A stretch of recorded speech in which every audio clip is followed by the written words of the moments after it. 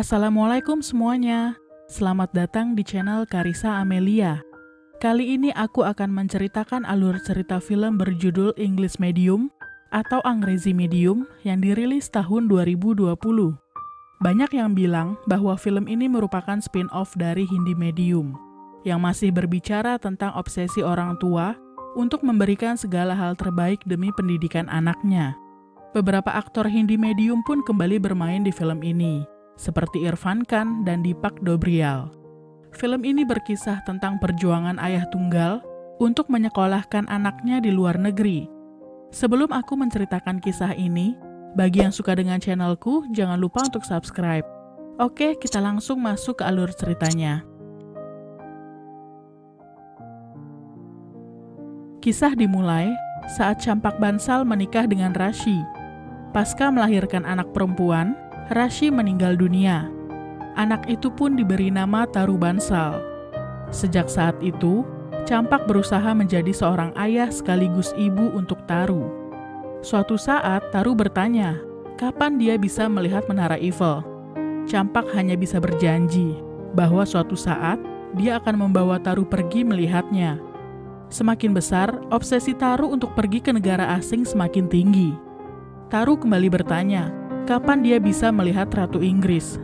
Lagi-lagi Campak hanya bisa berjanji saja. Pertanyaan seperti itu terus keluar dari mulut Taru. Kapan dia bisa pergi ke Hollywood? Jawaban yang sama pun terus Campak lontarkan.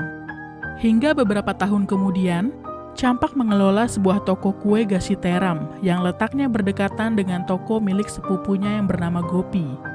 Keduanya selalu bersiteru, memperebutkan pelanggan dan saling mengklaim bahwa toko Gasiteram mereka adalah toko yang asli.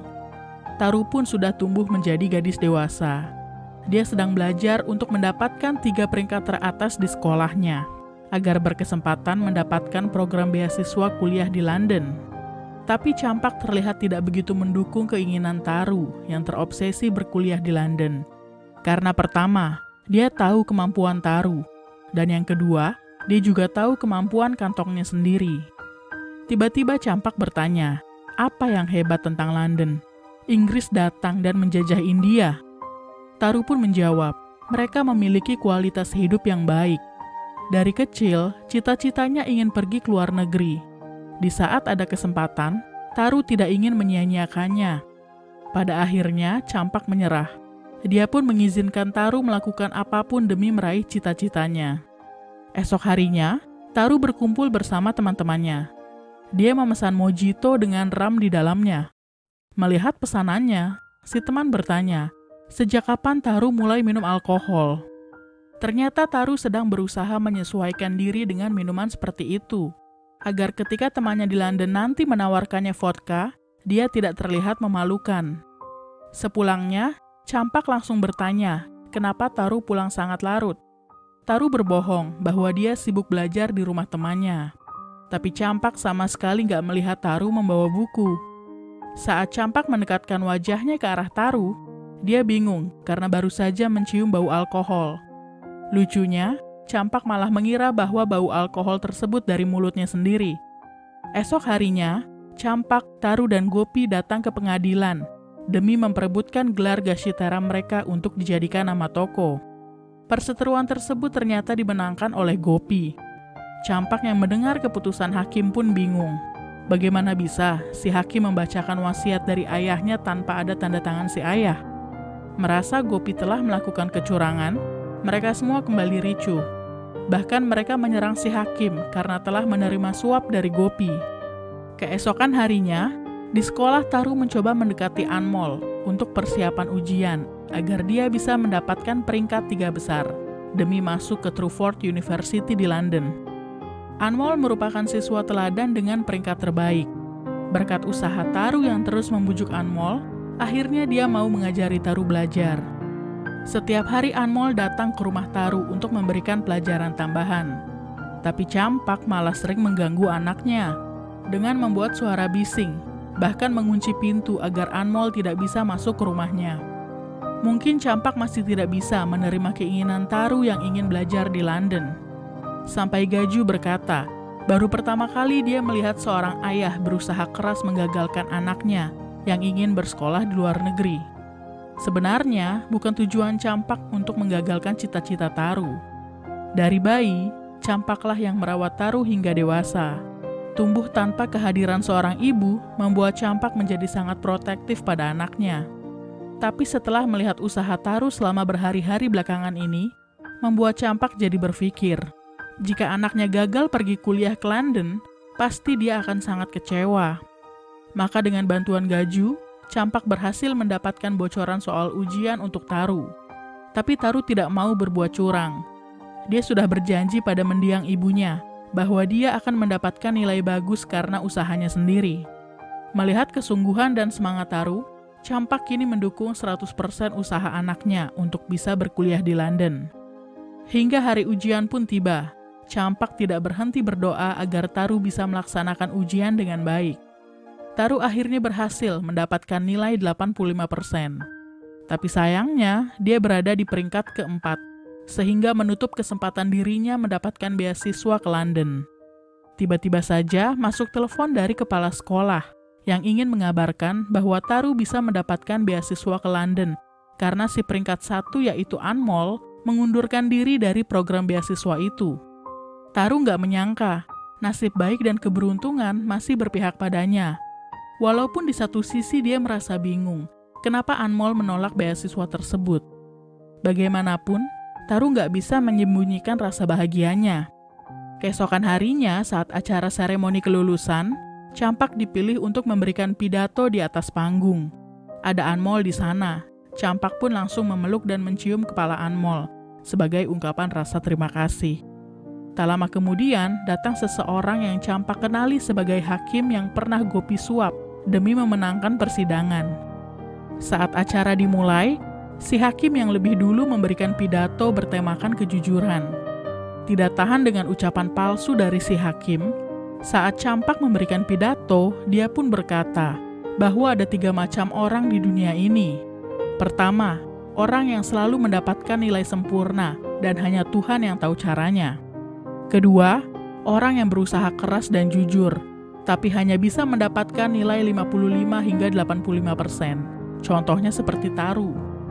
Dan yang ketiga, orang yang melakukan kecurangan. Contohnya seperti si hakim. Mendengar ucapan campak, sontak semuanya terkejut. Tidak cukup sampai di situ, Campak menjelaskan secara detail ketika si hakim menerima suap dari Gopi si hakim tampak tidak berkutik saat aibnya dibongkar di depan banyak orang. Merasa telah dipermalukan, si hakim pun keluar dari panggung. Terlepas dari benar atau tidak, Taru merasa malu karena perbuatan ayahnya. Ternyata si hakim adalah suaminya kepala sekolah. Tidak diduga, perbuatan campak mengakibatkan efek yang sangat besar.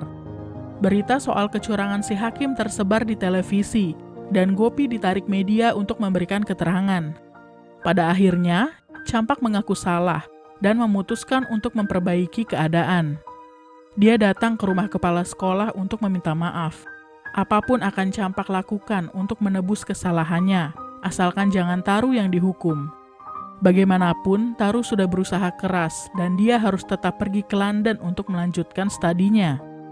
Tapi sepertinya sudah tidak ada harapan untuk Taru si kepala sekolah melempar potongan kertas dari surat persetujuan beasiswa milik Taru yang sudah disobek-sobek olehnya. Melihat perbuatan si kepala sekolah, Campak pun berkata bahwa sesalah apa pun perbuatannya pada si hakim, si kepala sekolah tidak boleh membatalkan beasiswa seorang murid. Si hakimlah yang rusak dan selamanya akan selalu korupsi. Dengan atau tanpa beasiswa itu, Campak bersumpah akan berjuang agar Taru bisa berkuliah di London. Saat tiba di rumah, Campak berusaha membujuk Taru. Tapi Taru tidak mau membuka pintu kamarnya. Dia beranggapan bahwa si ayah sengaja melakukan hal itu demi menggagalkan rencana kepergiannya ke London. Bahkan Taru merasa si ayah berniat menikahkannya dalam satu atau dua tahun ke depan. Mendengar ucapan Taru, penyesalan belasan tahun yang lalu pun kembali Campak rasakan.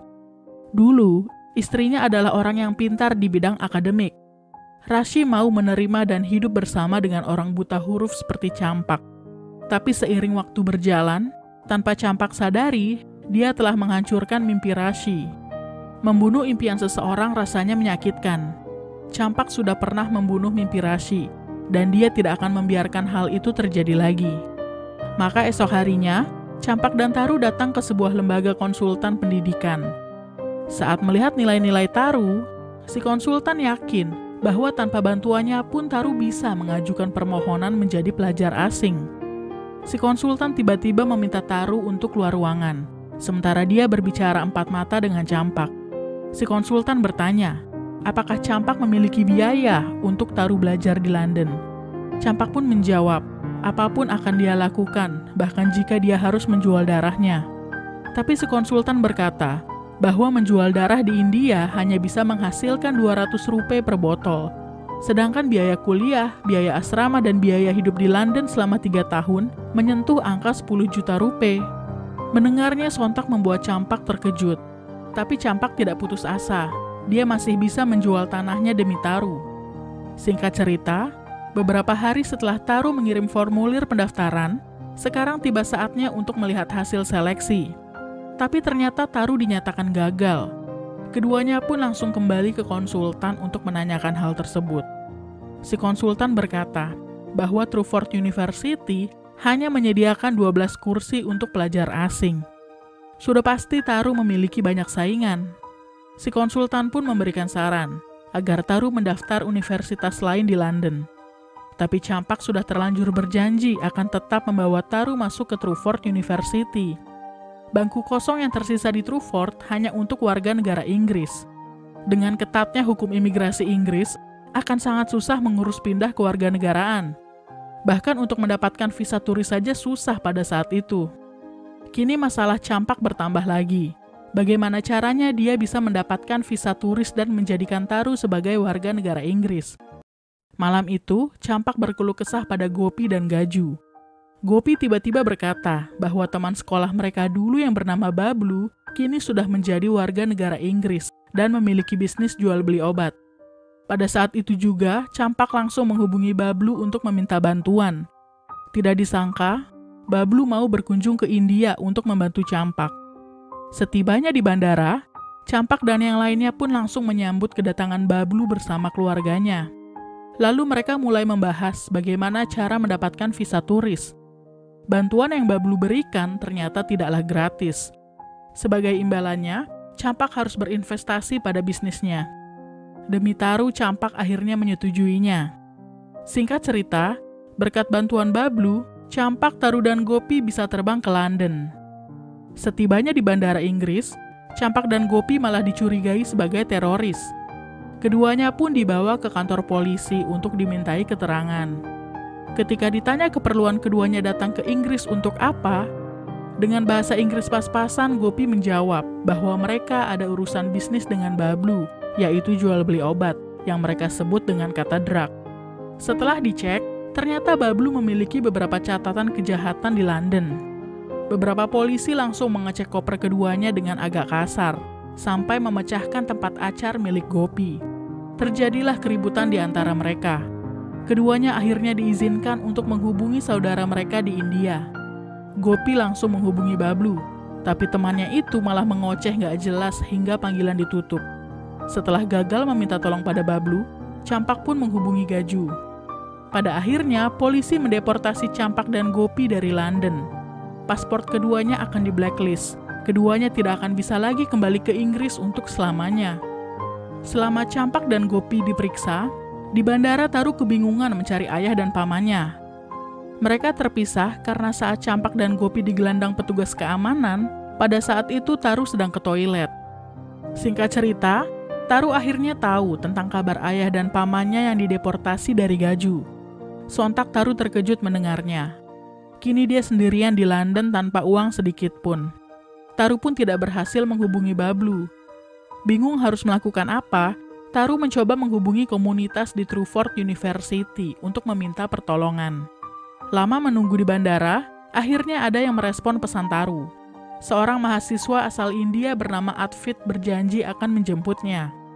Tak lama kemudian, datang sebuah mobil dan muncul dua pria menyuruh Taru untuk masuk ke dalam mobil.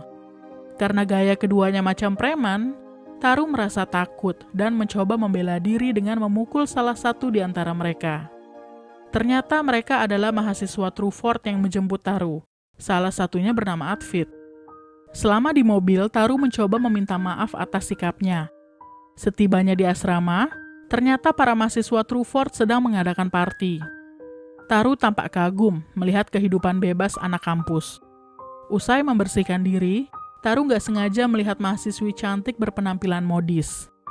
Taru pun mengikuti gaya pakaiannya dan mencoba memperhatikan semua gerak-gerik mereka, seperti berusaha mempelajarinya. Usai party, Atfit memberikan tempat istirahat untuk Taru. Sebelum tidur, Taru mengirim pesan suara pada Gaju. Gaju pun menyampaikan pesan tersebut pada Campak dan Gopi, yang pada saat itu sudah tiba di India. Pada intinya, Taru menjelaskan bahwa saat ini dia sudah berada di asrama kampus karena ditolong oleh mahasiswa India bernama Atfit. Mendengar pesan Taru, Campak langsung berpikiran buruk. Dia takut Taru bergaul dengan anak yang salah. Membayangkannya sontak membuat Campak ketakutan. Bagaimanapun caranya, dia harus kembali ke London. Gaju ternyata memang sudah mempersiapkan tiket pesawat untuk Campak dan Gopi. Tapi keduanya harus pergi ke Dubai lebih dulu untuk bertemu saudaranya Gaju yang bernama Tony. Setelah nama Campak dan Gopi di blacklist oleh Inggris, hanya Tony lah yang bisa menolong keduanya untuk bisa masuk ke London. Beralih ke London, Atfit mengajak Taru pergi ke restoran mahal. Ternyata ayah Atfit merupakan politisi di London.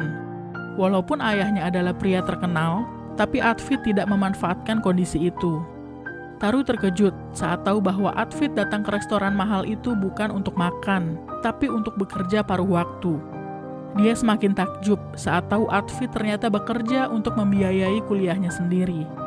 Karena di Inggris ataupun di Amerika, ketika anak sudah berusia 18 tahun, mereka harus bisa hidup mandiri, Merasa keren dengan budaya seperti itu, Taru pun ingin seperti Atfit.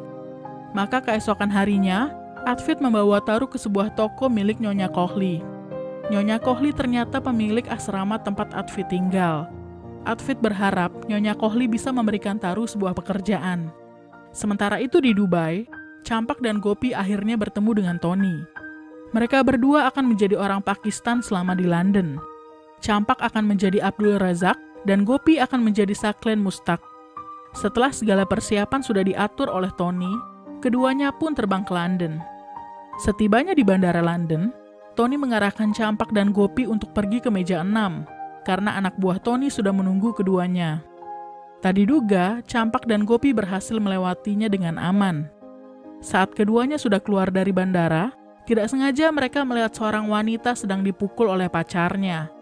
Campak sontak menghampiri mereka untuk menolong wanita itu. Tapi ternyata wanita itu adalah seorang polisi yang sedang menyamar. Akibat Campak dan Gopi, penyamaran si wanita pun gagal.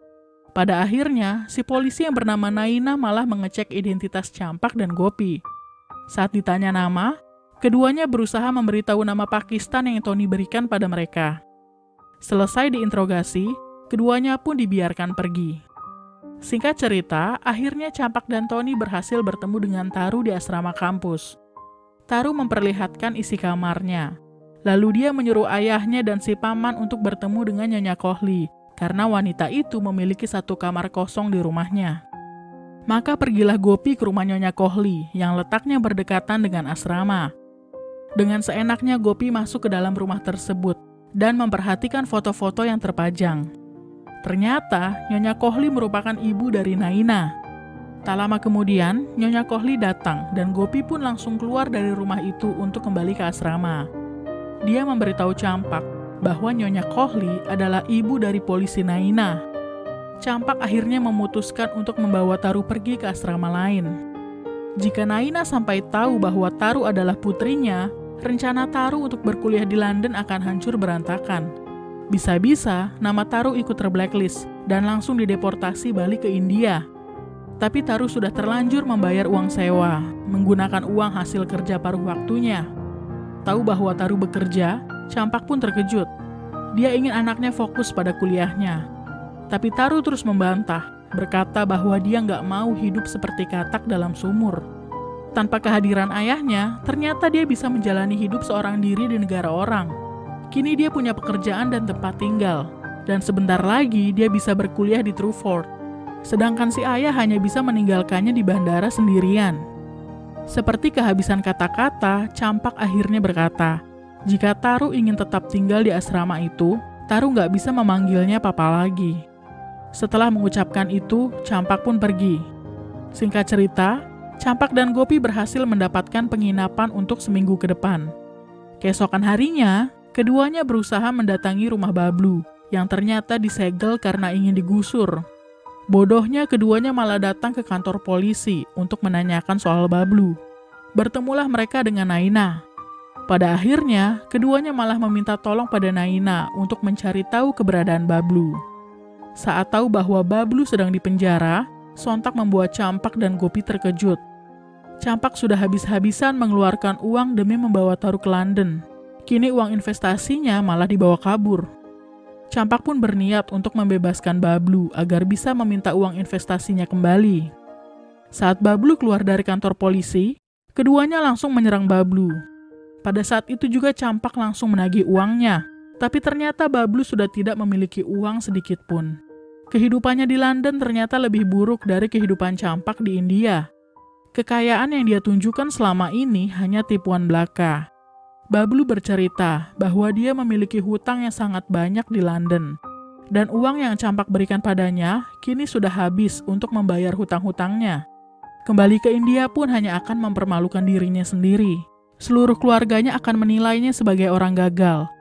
Pada dasarnya, Campak adalah orang yang sangat baik. Sudah ditipu pun, dia tetap membantu Bablu dengan memberikan sedikit uang yang dia punya. Menerima kebaikan campak membuat Bablu semakin merasa bersalah.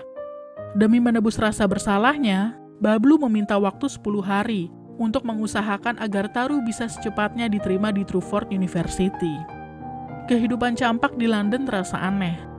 Dia tinggal berhadapan dengan Taru, tapi anaknya itu seperti tidak menganggapnya ada.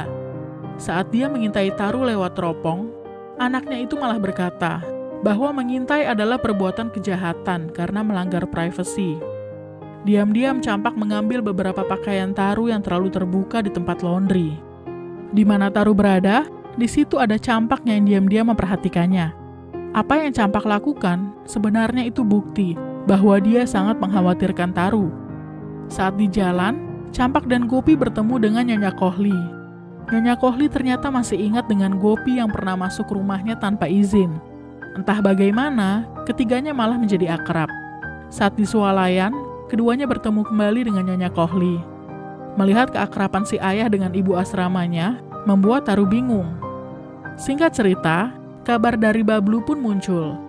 Dia berkata bahwa Taru bisa masuk ke Truford menggunakan jalur penggalangan dana.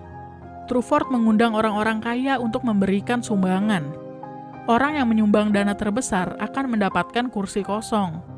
Di saat Campak sedang berusaha memasukkan Taru ke Truford, Taru sendiri malah bermain-main menggunakan uang hasil kerja paruh waktunya. Dia datang ke klub untuk mabuk-mabukan. Seperti sudah lupa dengan tujuan awalnya dia datang ke London untuk apa. Keesokan malamnya, Campak dan Gopi datang ke rumah Nyonya Kohli untuk makan malam.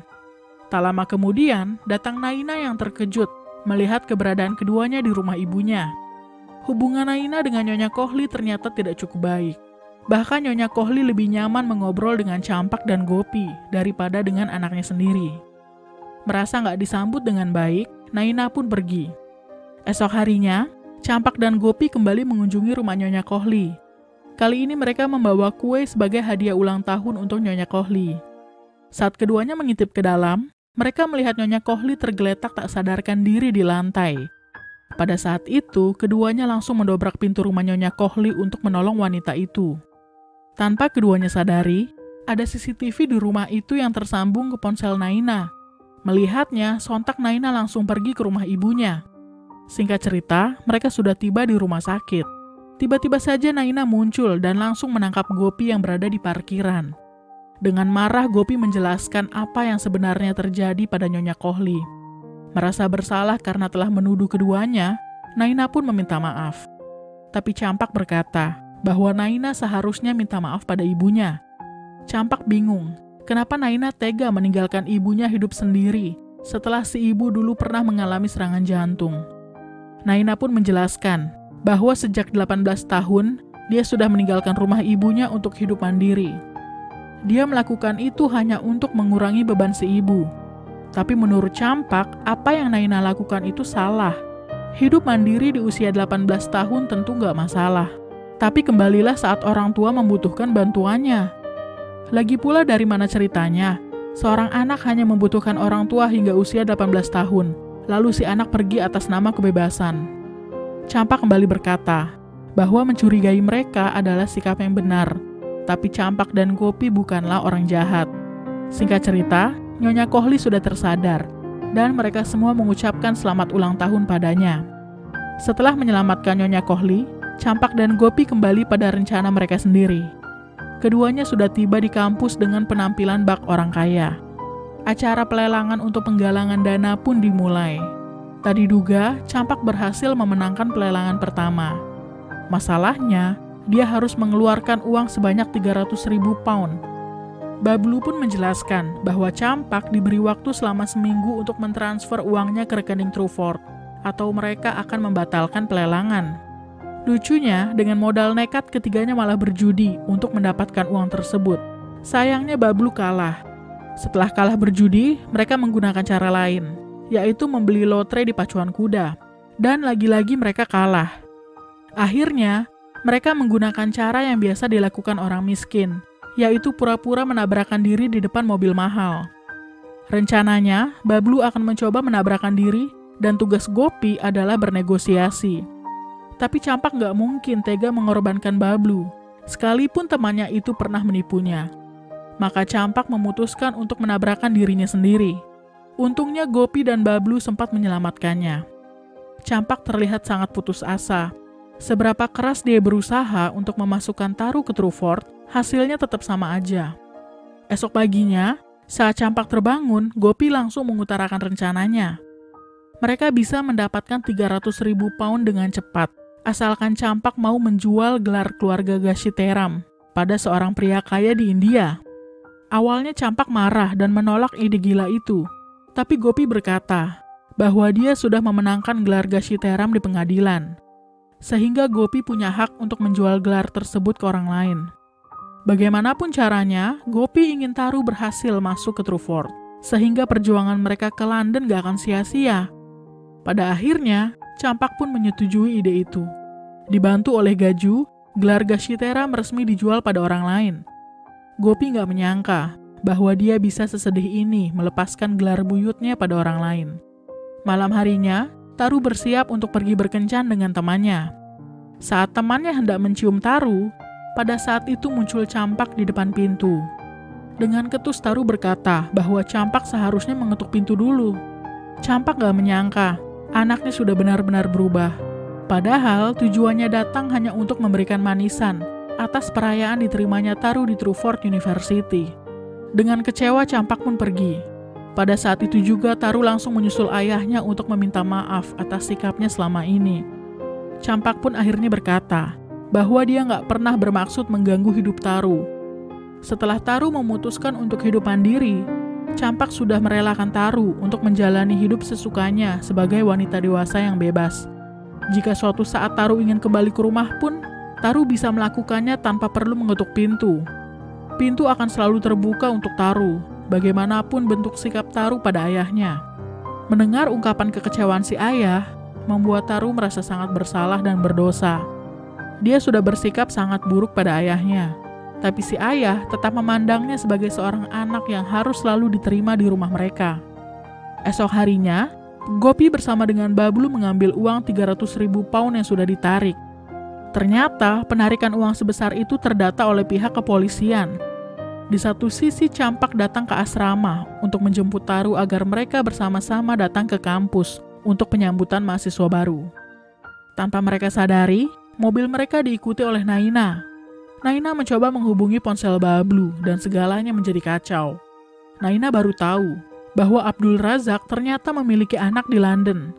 Sedangkan Taru mengira ayahnya berpacaran dengan Naina. Akhirnya Campak menjelaskan semua yang sudah terjadi pada Taru soal dia dideportasi, lalu menggunakan jasa Tony untuk memalsukan identitas, berpura-pura menjadi orang Pakistan, berpura-pura menjadi orang kaya untuk bisa mengikuti penggalangan dana di Truford, hingga menjual teram demi mendapatkan bangku kosong untuk Taru. Itulah perjuangan campak yang tidak Taru ketahui selama ini. Di satu sisi, Taru malah malu memperkenalkan ayahnya pada teman-temannya. Dia malah mengusir ayahnya dan bersikap seakan-akan ayahnya nggak ada di London. Melihat perjuangan ayahnya, Taru sadar bahwa selama ini dia hanya membuang waktu. Sekali lagi Taru meminta maaf pada ayahnya, karena dia, si ayah harus melewati banyak masalah. Dia sudah tidak mau peduli dengan kebebasan. Hidup mandiri dan kebebasan jelas dua hal yang berbeda. Taru tetap bisa menjalani hidup mandiri di mana pun dia berada, tapi bukan berarti dia harus hidup terpisah dengan ayahnya.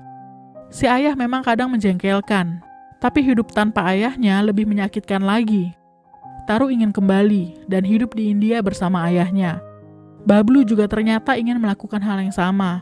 Sudah lama dia meninggalkan India untuk menjalani hidup penuh masalah di London. Dan ternyata sedari tadi Naina masih mengejar mereka di belakang. Bablu berusaha kabur dengan masuk ke area pembuangan mobil rongsokan. Tapi percuma aja, Naina berhasil menangkap mereka. Naina langsung bertanya, di mana mereka menyimpan 300 ribu pound itu sementara polisi yang lain menggerebek mobil mereka. Ternyata para polisi itu tidak menemukan apa-apa di sana. Tanpa sepengetahuan para polisi itu, 300 ribu pound itu sudah diselamatkan oleh Nyonya Kohli yang tidak sengaja bertemu mereka di jalan. Naina dan polisi lainnya akhirnya melepaskan mereka berempat. Taru berjanji akan merebut kembali gelar Gashitaram keluarganya untuk menebus semua kesalahannya selama ini. Tadi sangka, Awalnya tujuan Campak ingin mendidik putrinya di London, tapi malah dia sendiri yang mendapatkan pelajaran hidup. Sewaktu kecil, orang tua selalu memegang tangan anaknya agar tidak tersesat dan salah arah. Ketika dewasa, si anak malah melepaskan tangan orang tuanya. Tapi jika dipikir, itu tidak sepenuhnya kesalahan si anak, karena tugas orang tua adalah jangan pernah melepaskan tangan anaknya. Sehingga ketika si anak mulai tersesat dan kehilangan arah, dia pasti akan kembali pada orang tuanya. Dan cerita pun selesai.